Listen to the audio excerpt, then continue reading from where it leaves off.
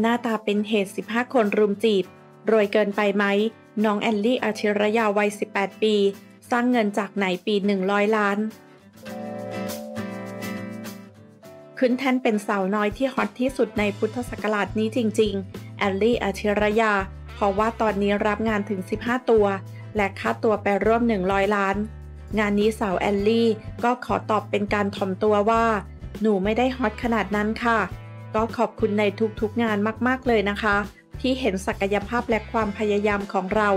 และถ้าจะมีใครจ้างงานอีก ก็พร้อมรับเรื่อยๆ ส่วนเรื่องค่าตัวที่โกยซับไปร่วม 100 ล้าน เจ้าตัวบอกว่าเรื่องนี้ไม่รู้เลย ต้องถามที่ค่ายเลย เรารู้แค่เรื่องโชว์ของตัวเองว่าเราจะทำได้เท่าไหร่ ไม่ได้รู้เรื่องตัวเลขเลย เราแค่ทำงานให้มันออกมาดีขึ้นเรื่อยๆ ให้คนได้เห็นว่าเราพยายาม ขอบคุณทุกๆ คนที่คอย support นะคะ รู้สึกดีใจมากๆ ในสถานการณ์ที่เราเองก็ยังไม่ได้ปล่อยเพลง แต่ก็ยังมีทุกคน support ก็อยากให้ทุกคนติดตามผลงานกันไปเรื่อยๆ ค่ะ นอกจากจะมีแฟนชาวไทย ยังมีแฟนอินเตอร์ที่ติดตามมากขึ้นอีกด้วย ซึ่งงานต่างประเทศนั้นสาวแอลลี่ก็หวังว่า น่าจะได้เจอกันในเร็วๆนี้ น่าจะช่วงปีหน้า เดี๋ยวจะต้องกลับไปเกาหลีปีหน้าด้วยเพราะต้องไปทำเพลง และด้านเรื่องเรียนที่เจ้าตัวสอบติดมหาวิทยาลัย ที่ชื่อดังระดับของโลกบีสถาบันดนตรีร่วมสมัยที่ใหญ่ที่สุดในโลก